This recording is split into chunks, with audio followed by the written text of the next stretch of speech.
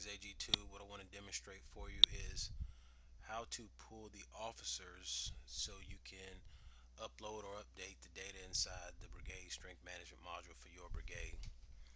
So you want to come into TOPMIS and hit this gearbox. We're going to go to Query System, Asset 2. And the first thing you want to do is make sure you uncheck Preview First 100 Rows or you're only going to get 100 names when you run the query. But before we do that, oops, let's go back in here. Let's go to this little folder here, open query, and you're going to open someone else's query.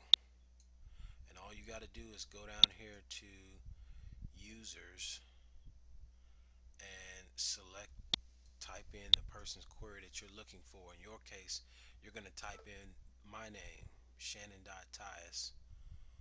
Once you do that, you'll come in here and you'll see these queries.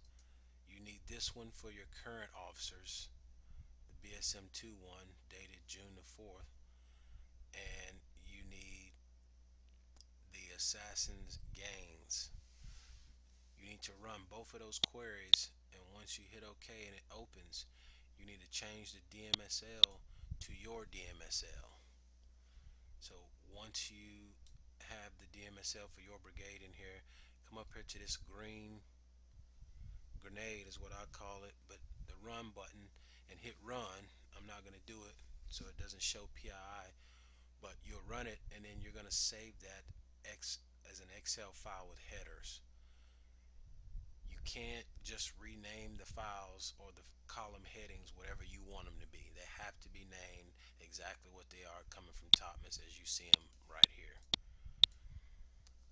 So again, you'll come back in and go to the gains and you'll change the DMSL to your DMSL run it again export it with headers and there's a video on AG2 that will show you how to export that data with headers. So again I just want to uh, reiterate to you that you can't just build your own query from TOPMIS and try to import it into Access because it's looking for certain fields that it needs to do exactly what it does. Again if you're running any issues or have any problems or questions then don't hesitate to shoot me a message Thank you.